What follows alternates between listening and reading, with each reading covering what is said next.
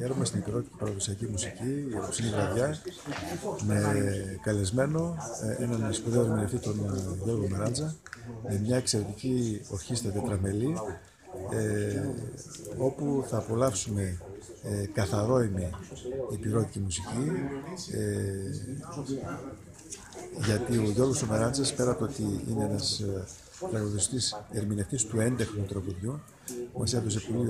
μεγάλες επιτυχίες στις ερμηνείες του.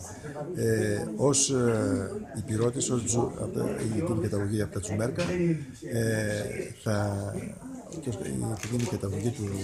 υπηρο- υπηρώτικη θα μας ε, χαρίσει εξαιρετική μουσική βραδιά ε, στα υπηρώτικα, αφού ε, ε, το ξέρει πολύ καλά και κυλάει το αίμα το υπηρώτικο στις φλέβες του. Ε, άρα μια ε, ξεχωριστή μουσική εκδήλωση, έτσι κι αλλιώς ο Γιώργος Μαράντας έχει ξανάρθει με φίλους του συλλόγου, έχει ξανάρθει τρεις φορές, είναι η τέταρτη φορά είναι αυτή. Αυτή τη φορά όμως τον επιλέξαμε να μας κάνει αυτό το αφιέρωμα και είμαστε σίγουροι ότι θα είναι ένα επιτυχημένο αφιέρωμα όπως αξίζει στο υπηρώτικο τραγούδι.